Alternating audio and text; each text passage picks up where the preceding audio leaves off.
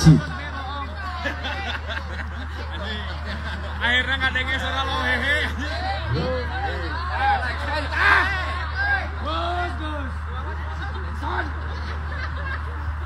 Ya, Assalamualaikum warahmatullahi wabarakatuh. Melanjutkan yang tadi. Dari awal aja, dari awal. Oke.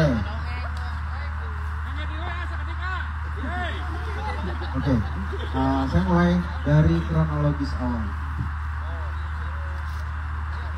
Pada bulan Maret, saya diinvestasikan oleh investor saya sebesar 1,5 miliar. Dengan kondisi terpakai 300 sampai 400 juta. Belum uh, belum dihitung ulang berapa keluarnya.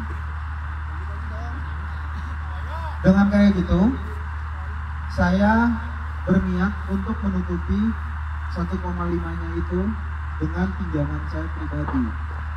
Yang pertama, saya meminjam kepada salah satu orang 390 juta totalnya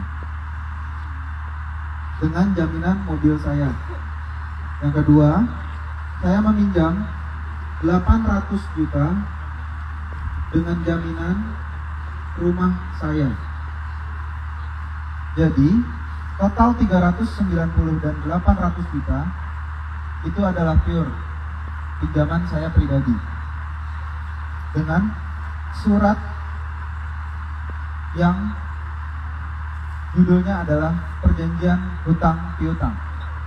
Beda dengan yang 1,5 adalah perjanjian kerjasama investasi. Saya menjelaskan total dana 2960 yang dijadikan dana investasi itu dipecah lagi menjadi tiga 1,5 investasi 390 juta adalah pinjaman saya dan 800 juta itu adalah juga pinjaman saya. Secara pribadi. Dari total 2,9 yang digunakan untuk keperluan Greenland adalah 1,6 dan bertambah sampai sekarang Jadi saya mengakui dari dana investasi 1,5 M itu terpakai untuk kehidupan saya pribadi.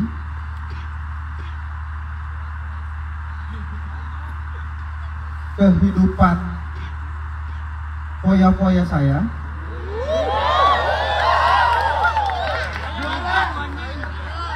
Dan juga seluruh pembayaran hutang saya.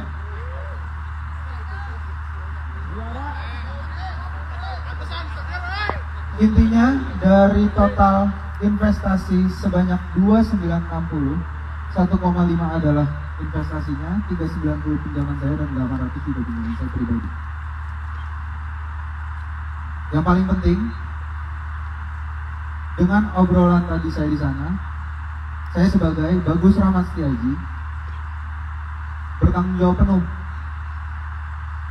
atas konsekuensi hukum ataupun hutang piutang yang akan saya jalani. Saya tidak akan kabur sejengkal pun dari permasalahan yang saya buat. Insya Allah teman-teman jadi saksi bahwa saya tidak akan sekalipun pergi dari permasalahan yang saya buat sekarang ini. Saya juga sudah berusaha untuk memenuhi total acara pada hari ini, tapi belum bisa maksimal. Dari setelah kejadian, dana saya yang akhirnya sudah masuk untuk menggantikan sebesar 600 620 juta dari 9 hari ke belakang sampai hari ini. Saya memiliki tiket untuk membayar semuanya. Namun yang bisa saya lakukan untuk sampai saat ini hanya sebesar 620 juta itu saja.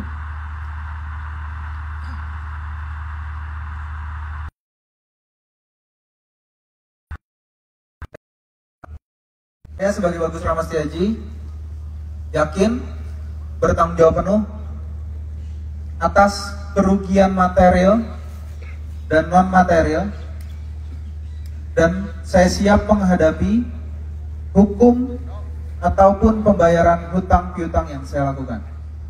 Terima kasih. Assalamualaikum warahmatullahi wabarakatuh.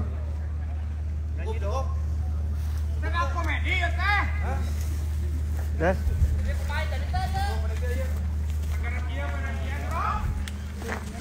Tulis, Seven, Das. Tolong.